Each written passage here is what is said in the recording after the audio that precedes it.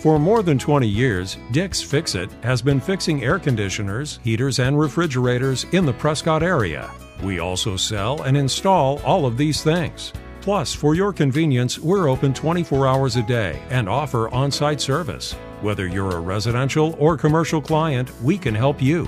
So schedule an appointment soon. Dick's Fix It LLC. Call us or visit our website now.